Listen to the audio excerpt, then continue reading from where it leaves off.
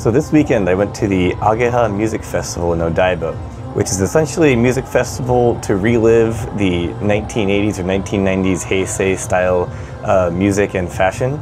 I will say did not go exactly how I expected. I thought there would be a lot more flashy gyaru type characters doing their pada pada dance and going like this. However, I ended up mostly talking to a variety of moms and somewhat middle-aged women who just came to relive their heyday of uh, clubbing and dancing. So there's actually a few interesting characters, but there's a lot of footage of just me chasing people around, asking them to say a couple of words about Ageha. It is an interesting music festival concept, so if you're interested in what types of people went to this Japanese music festival, stay tuned for all the zany characters I'm about to talk to. 今日、アゲハ、なぜ、あの、来ましたか ちょっと一言お願いします。えー、15年ぶり。15年ぶり？あ、今日アゲハです。行かないです。あたまたま撮ってるってわけですね。あ、はい。なるほどですね。すみません、二人ともすごいファッションですけど、ちょっと一言お願いします。ちょっと一言あお願いします。今日なぜアゲハに来ましたか？Tokyo interviews on the scene. It's, actually pretty funny. アゲハ初めてですか？いや、来ました。ほう、どういう感想ですか？最高ですね。最高でございますか？今日はあの具体的に何を楽しみに来たんですか？10代の時に戻った感覚ですね。戻ってますか？はい。どのぐらい遡ってますか？20年前ですね。おおすすごいパワーじゃないですかアゲハそんなに20年前ははい。でももう今20歳じゃないですかそうですね。アゲハのおかげではい、アゲハのおかげで。おおあの元ギャルですか？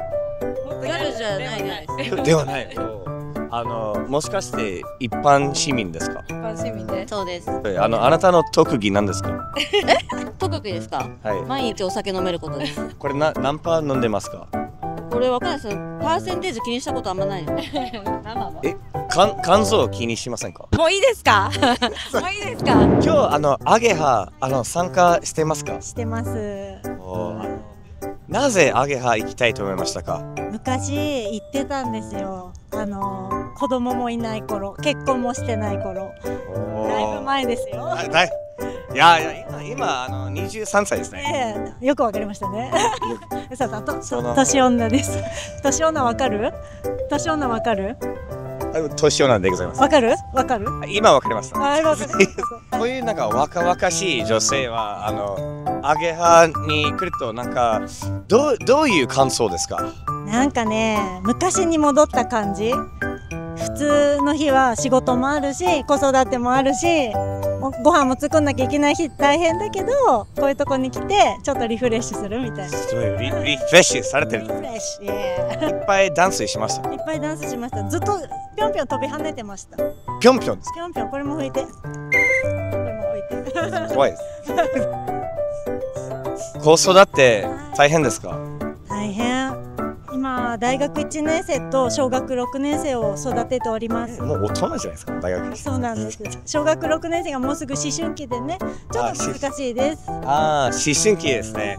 ちょっとね怖いです。はい。それ女の子昔女の子でしたよね。そうですね。気持ちはわかります。じゃあじゃあじゃあセーフじゃないですそうですね。そうですね。か 娘が年頃になったらアゲハ連れて行きますか？アゲハも連れてきたし今は K-POP のコンサートに一緒に行ってます。K-POP も好きだしこういう音楽も好きなるほどね。あのあなたの特技は何ですか？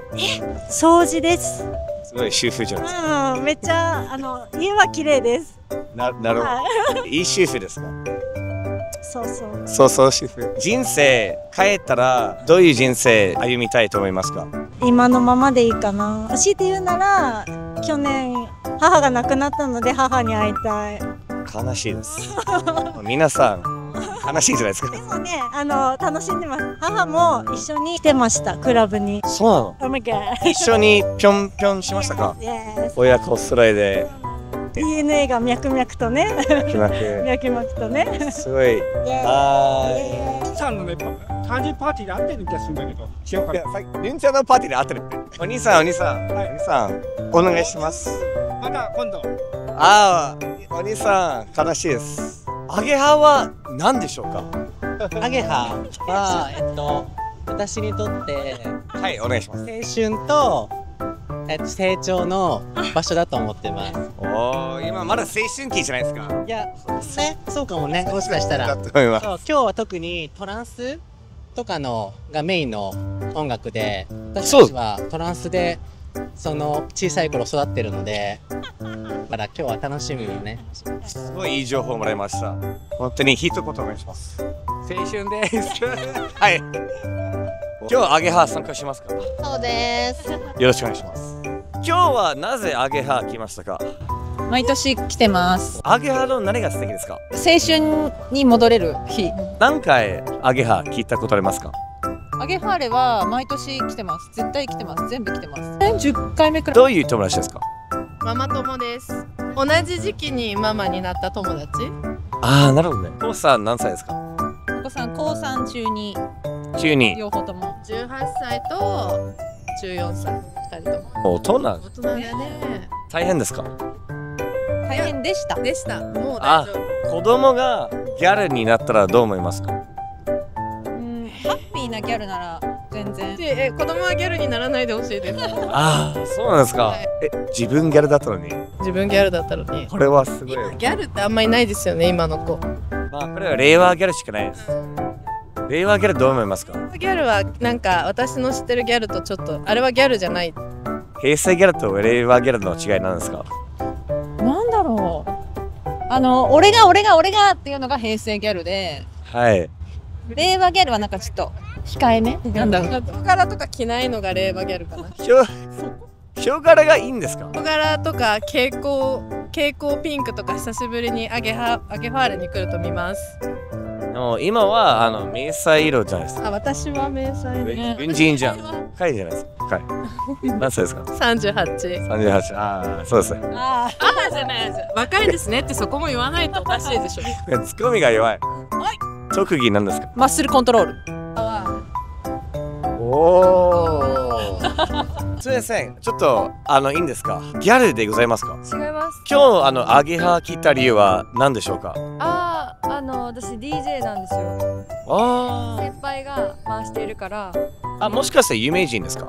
私は有名じゃないですけど、その人が回してるんで見に行きました。自分の DJ としての特徴は何ですか？特にないです。何でも特にないです何でもやります。がっかりします。いやすいません、がっかりで。自分の顔は整形したことありますか？ありますあります。あ例えば、なんかいろいろなんか肌とか肌とか。肌とか？はこれ、日本で人気ですか？かんないけど人気なんじゃないですか？これで、あの、モテるんじゃないですかモテない。DJ としての夢は何ですか？有名はあんまないです。もうあの平穏に暮らせればそれで OK。ありがとうございます。なぜアゲハ、あの、行きたいと思いましたか？うん、やっぱ世代ですかね。いつの世代でしょうか？ああ、平成ですか。今日来て、青春期とか感じますか？ああ、僕そこまで年いってないんですけど、音楽が、この先輩世代の音楽が好きやから。今日いっぱいナンパできそうですか？何倍ですか？まあ、どうでしょうね。それは彼らがやってくれると思うんで。ああ、あれなんか一番なんかアゲハ期待してるものは何ですか？え、なんやろ？もう音楽ですか？オーケー。音楽と平成ギャルをちょっと見ようかな。平成ギャル。平成ギャルをね。平成ギャルしか勝たん？ギャルしか勝たん。